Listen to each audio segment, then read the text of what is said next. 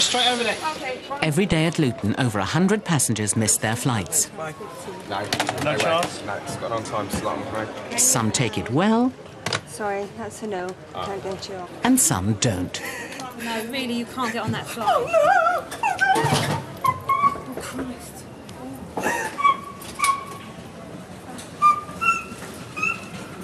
All right. Oh, calm down, calm down. Michelle Salinger has arrived 15 minutes late for the morning flight to Barcelona. I'm interviewing a whole load of teachers What are they on the next and one? st- st- at, at, at a college, and then I'm going to a university to interview teachers as well. Closing is, um, And then I've, I let them down last time because I because of the September 11th thing. They're all set up for me to see them, and I let them down at the last minute. And I, you know, I can't let these guys down. They've given up their time for me. They've rescheduled all their classes for me. She's desperate to be allowed on the flight, but it's not looking good. No, Oh, 720. please. no, sorry. I can't get on. Flight's on time. Let me just check. Oh, please, please. I've got my appointments. I've got 20 people waiting to be interviewed by me. Oh, please don't do this to me.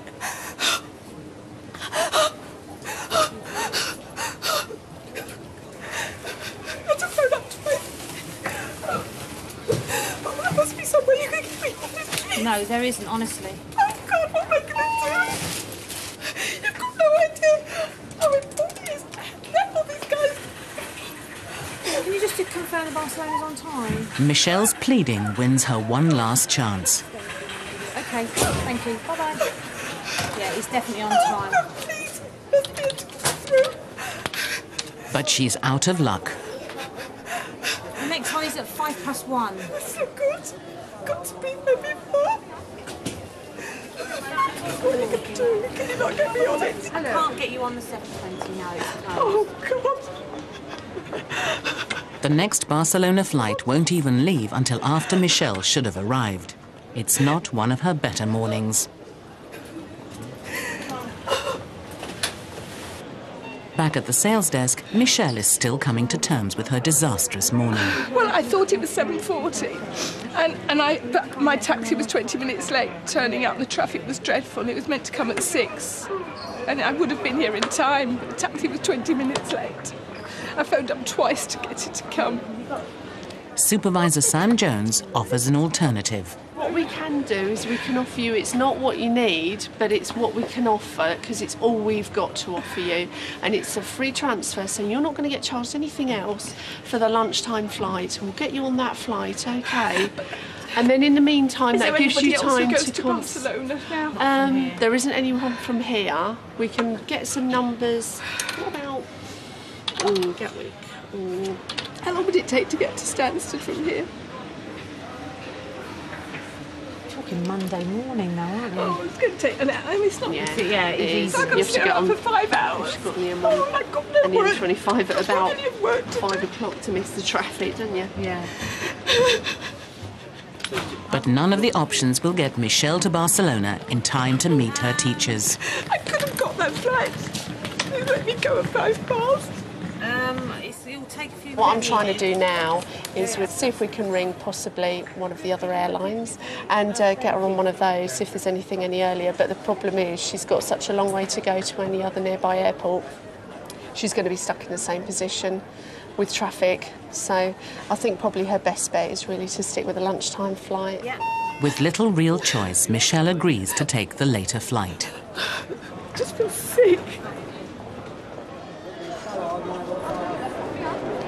One problem at least has been resolved. Having phoned her teacher, and after a four hour wait, Michelle checks in for the Barcelona flight. I missed the earlier flight. Did you? Yeah, I'm coping now. Yeah. the gate number is 1A. Glad you made the flight. Boarding is at 12.35. Okay. For Michelle, it's better late than never. Yeah, I'm on my way. Thank goodness. Back at Luton, browbeaten Mel encounters a regular problem. I've got my passport and my driving licence. My wife hasn't got her um, passport, and neither does my son. But we do have to have one form of ID. Like I say, we haven't got one of those. So you it's won't- we can't fly? No, not unless you have one of those. The only thing I can do for you now is try and transfer you onto the next flight. I'll just go without me and forget about it. There must be something you could do. No, there's not, There's no. absolutely not. It's totally flexible. But why? What are you worried that If, I if? I get on a train, if I get on a train and go up to dangerous, you have Scotland, to I don't actually have to have That's a a train, passport to get. Yeah, it's of course it's a bloody train, but it's going to the same place. Right.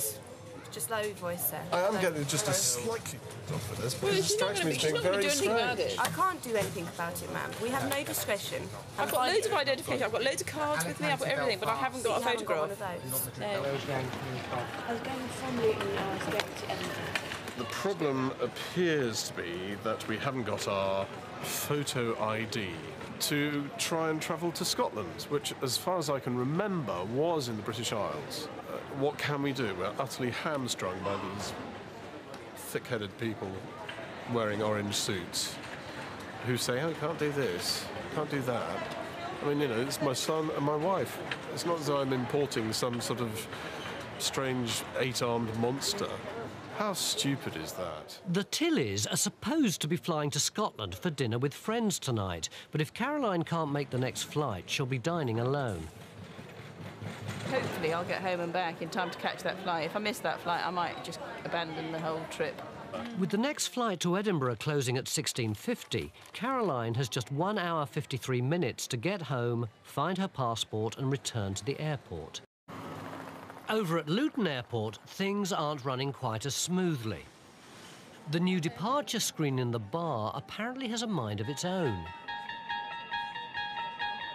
Please tell me why this happened. I don't know. Basically, I really. Passenger Graham Sinclair was waiting for the delayed 1600 flight to Glasgow.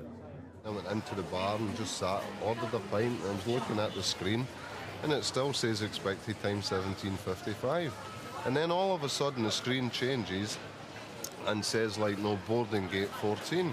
So I, mean, I left that in my pint, walked upstairs, and looked at the screen and it says closed. With the screens apparently urging people to stay in the bar until their flights have departed, it's not long before another passenger misses her flight. She's saying um, basically that they didn't put the screens on final call, which they always do. It does it automatically. I was watching that screen all the time. So it went from go to gate 16 to gate close. All my colleagues who have spoken to me about yourself, they have been telling me that the screens did say that the gate was boarding. And No, no, no, it did not. I can promise you it did not. Are you calling me a liar? I ca- never no, said no, no. that. Well, you are basically, aren't you? No, those words. You're basically calling me a liar. No, you've told me that I what I've told you is not true. So you're No, basically calling me a liar. And with the next flight to Nice fully booked, things are not looking good. All I can do for you is transfer your flight tomorrow morning. I want to be on the flight tonight. You cannot get on the flight tonight. There is not one available seat. And when the flight is not full because people don't turn up, what will you do? Nothing. Well, I think you should do something for me. I can't do anything for you when people have brought Right, I'm a journalist and you will be. I will write up about how bad behaved you guys have been because, quite frankly, it's crap. You're going to put me on flight at 8 o'clock tomorrow morning. Um, I thought you just said airline's crap. Can you get me a manager?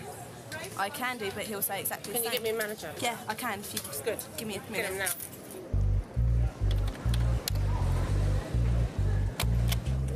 Got nothing Mean- Lindy Adlam and Graham Sinclair have missed their flights. They blame the departure screens.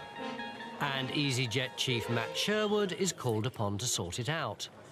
Um, I understand you were, you were in the bar and you missed the, the final call to the gate.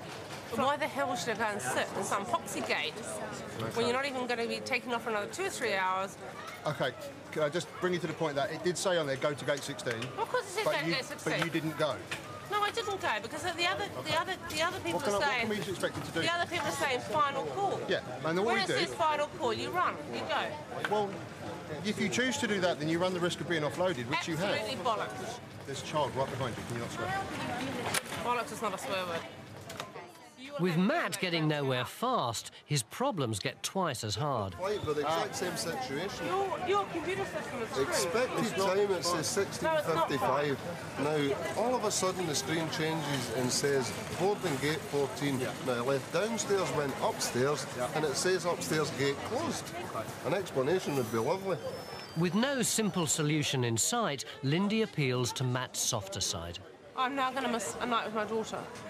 I have very precious time with my daughter, and it's not fair. Oh, no, don't get yourself No, upset. no, no, no, I am upset because you don't care. I do care. No, you don't care. You could get me on the next flight, but you don't care. I have a small child who's dying to see me. Okay. I work so hard for my living. Back in 10 minutes. Still getting nowhere, Matt heads to the bar to check the mystery screens. Back in Luton, Matt's checking the bar departure screens. They work on a strict sequential system, the last three commands being boarding at gate, final call, and lastly, gate closed. I've just gone and compared both screens, the one that was in the bar and the one that's in the main food court, and they're both running in sync and they're both showing exactly the same information. So all I can assume then is that passengers have had some confusion with what they managed to see in the time they looked at the screens. With no apparent gremlins, Graham has probably just confused his delayed flight to Glasgow with the next Glasgow flight, which was departing on time just 30 minutes later. And Matt has a diplomatic explanation for Lindy. All I'm saying is, is your strategy of boarding flights, those two or three minutes have Mate. cost you a flight. You're telling me it's my fault. I'm not, it's not a fault thing, it's just that the strategy you chose has, has failed you today. I'm sympathetic to her, the fact that she had, especially she had a child in Nice, but at the end of the day, she had made that mistake herself. With nothing more that can be done, the two passengers agree to be moved to the next available flights. The night is knackered, really. I had a, a meal booked for 7.30 this evening, so it's pointless now. I don't know what I'm going to do. I'll have to, I'll probably have to stay somewhere locally and fly tomorrow morning. With Lindy in search of a hotel, the bar screens are still working fine. It's just hard to read them sometimes. At EasyJet's other UK base, Liverpool Airport, the Belfast flight is about to depart. One passenger's just missed the check-in. Wilma Morrison needed to get to Ireland today to sort out the custody of her son. I've only got hand luggage. Oh, come on. look. Check-in supervisor Leanne Chung tries to help. I'm going to lose my way. I'm having problems with my kids. My wee boy, I'm going to lose my wee boy if I don't get there. Sorry, you can't go, it's too late. There's another flight tonight at quarter past nine. Let's do it, it's 10 past, I can run. We've only got seven minutes before I can run, be there in three minutes. They won't let you travel, I'm afraid, it's too late. You can go on tonight at quarter past nine. That's no good to me.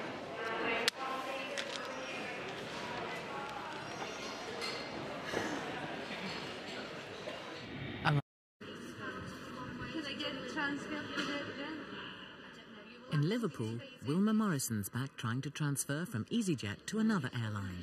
Excuse me, can you transfer that there? You just said to me two minutes ago you transferred it. No, I said you could ask, you'd need to speak to Servisair, I never told that you. Speak to who? told you that you could speak to Ryanair, um, which is Servisair. Where's Ryanair, is it not? Yes, but it doesn't mean that I can transfer your EasyJet ticket, you have to pay for a new ticket.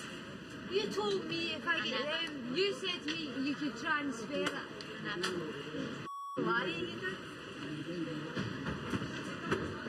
Excuse me. Tired and anxious, the frustrations telling. Excuse me. Excuse me. Excuse me. Just a minute. Hey, thanks. You got the confirmation number? No. None of them. Just give it. Are you sitting smirking for that? You're smirking. You've not got any children, have you? No. You're an ignorant bitch, is it you? You're to be rude, you can leave the desk because you're not having any You don't need smart then, desk. right? You don't need smart. you want to go away, You're gonna carry on swearing then you can go. You're sitting smirking. Excuse me. Excuse me. The only thing that you can do with us now is transfer to the next flight, which is a quarter past nine. We can't transfer with another company. You have to go and pay with You left me here Ryanair. for 15 minutes to tell me now. Can I speak to the manager, please? No manager here, I'm the supervisor. You're a supervisor, you ought to be a cleaner. Wilma later decided to take the EasyJet flight. That was disgusting. I can't believe that someone would have the nerve to speak to someone so disgustingly. And, and I don't appreciate anyone calling me an evil bitch just because she turns up late for her flight five minutes before departures. I tried my best for her, and that's what you get. It's just disgusting. Can I help you?